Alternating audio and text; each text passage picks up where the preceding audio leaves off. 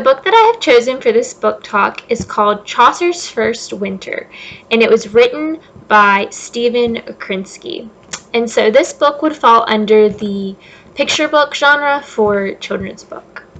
And so the book is about a curious little bear whose name is Chaucer. And so Chaucer is playing with his friends one day, and they tell him, We're going to miss you this winter, Chaucer. And he's like, Why would you say that? And they tell him, Well, because you'll be sleeping this winter, because that's what bears do. And curi- curious little Chaucer was confused. He was like, What do you mean? And so they told him that that's just what bears do in the winter. They sleep the whole winter. And so he asked his parents about it, and they, they were they told him the truth. They were like, "Yes, this is what bears do." And so Chaucer did not like the sound of that. So when it came time for winter, his parents went to sleep. But Chaucer was so curious that he went back outside, and he went out into the outdoors to discover winter. And so while he was outside, he started playing with his friends. And at first, they were questioning why he was there, and he was just so curious about winter. And so he just wanted to see what it was all about. So his friends showed him all around. They showed him all the fun activities you can do in the winter. They ice skated, they threw snowballs, all the fun winter activities. Well, towards the end of the winter, it started to get really crazy and there was a storm. And so Chaucer started rolling up snow and rolling up snow, and his friends were like, Chaucer, be careful, this is very dangerous.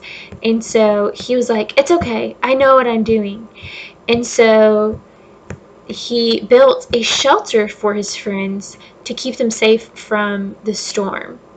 And so after this, the sun comes back out, winter slowly changes into the next season of spring, and so winter is over. And so Chaucer got to experience his first winter. And so he starts to get sad that winter is over and all the fun activities are gone. And so he starts to tell his parents about it.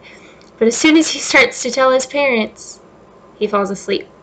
Because he has spent the whole winter playing and exploring with his friends, he has forgotten to sleep, and that's what bears need.